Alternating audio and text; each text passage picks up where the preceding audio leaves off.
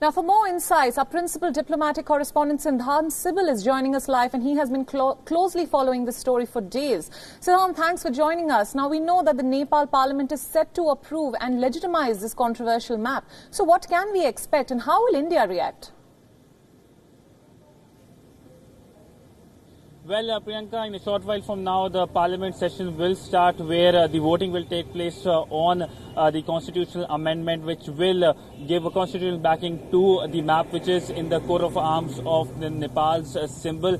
this happened last week when the, the bill was presented for discussion, and after 72 hours, which finished, there will be a formal voting today, and it is expected to be passed, given the fact that it got a unanimous backing in the lower house of the Nepali parliament. Once it's passed in the lower house of uh, the Nepali parliament, it will go in the upper house where the same process will happen and then thereafter uh, the president of Nepal will uh, sign on uh, the law and it becomes a formal law giving a constitutional backing. But uh, what will be New Delhi's reaction? It will be the same reaction uh, as has been the first reaction when for the first time last month we know that Nepali government issued the map. New Delhi clearly said that this is something violative of the sovereignty and territorial integrity of India and Right. This is something that New Delhi does not take very kindly, and that was a sharp reaction. And since then, there have been uh, the, the the government in Nepal calling for talks with New Delhi, but New Delhi has clearly said that it is up to the government in Nepal to create a positive atmosphere.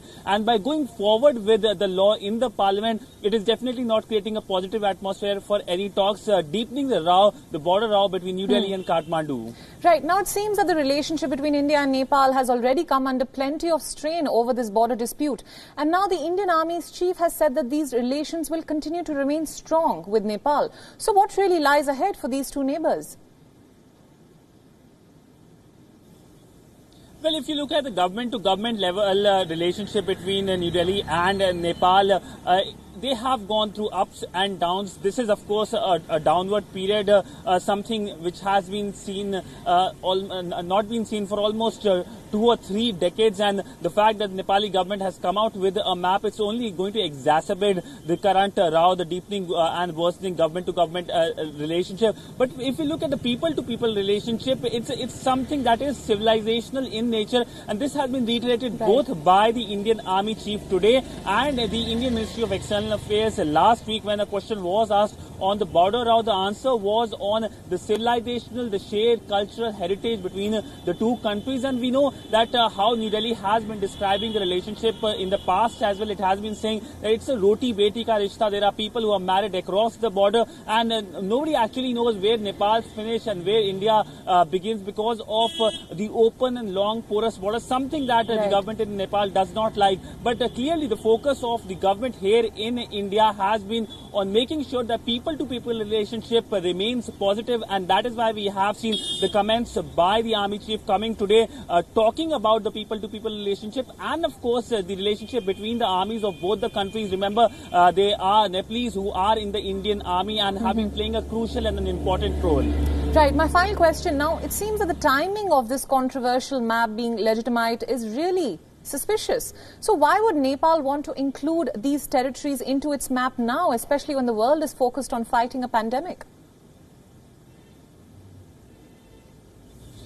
The, one of the biggest reason is the fact that we have an ultra-nationalist government in Kathmandu, a, a, government which is focused on uh, territorial and sovereign uh, integrity. But of course, the big question is that it's, it's a border issue which dates back to 1815. Why now? This is a question which many have been asking, and there hasn't been any uh, uh, uh, answer by the government in Nepal. But one of the big reasons is the fact is to divert what is happening inside in Nepal. We know there are protests happening inside Nepal, massive protests, in fact, happening in many cities in Nepal against uh, the handling of the COVID crisis and also corruption charges against uh, the KP Sharma Oli government. So, in an attempt to divert the internal dynamics, uh, the government there is focusing on something that will, of course, get a unanimous backing because anybody will be supporting the, the territorial integrity of a country, and they just have come out with uh, this uh, this uh, this issue, this territorial issue, and now focusing on that rather than focusing on the COVID prices. Another big reason it seems uh, is uh, the China effect. We have seen increased right. Chinese presence uh, or Chinese role in South Asia, whether it's Pakistan, whether it's Nepal, and this is something that has been talked about off and on by the Indian government here. We know the comments by the army chief who clearly said that the current border row, it seems, is happening at the behest of someone. He did not take any name, but it seems the, his, his pointing, his, his mention was clear at, at Beijing. Right. All right, Sidhant, thank you so much for all your insights. We'll come back to you for more if this controversial map does, in fact, uh, achieve legal recognition in Nepal. And now let's move on to our next story. Now, parts of the Chinese capital of Beijing have been locked down due to new COVID-19 cases which have been linked yet again to a meat market. The virus cluster has increased fears of a second wave of COVID-19 infections. Authorities in Beijing have temporarily shut down the Xinfadi wholesale meat market following a rise in locally transmitted coronavirus infections. Officials said that Beijing has entered a wartime emergency mode as 45 people working at this market tested positive for coronavirus and they were all asymptomatic. Authorities have said that more than 10,000 people linked to the market will now be undergoing the nucleic acid test for COVID 19. As of now, it is not clear how this virus spread, but the shops in the Chinese capital removed salmon from their shelves after the virus causing COVID 19 was discovered on chopping boards, which are used for cutting the imported fish at the market.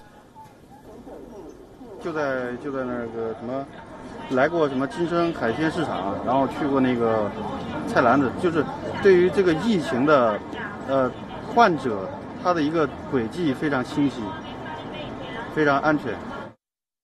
Meanwhile, 11 residential estates close to the market have now been sealed, and the government has also dropped any plans to reopen primary schools because of the recent spike in cases. The first COVID 19 case was reported at a seafood market as well in the Chinese city of Wuhan in December last year.